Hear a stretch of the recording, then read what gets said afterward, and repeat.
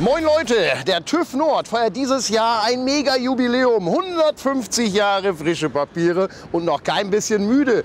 Das muss gefeiert werden. Ich hoffe, ihr seid dabei. Entweder hier auf dem YouTube-Kanal oder bei den TÜV Nord Mega-Events. Wir sehen uns, TÜV Nord, sofort.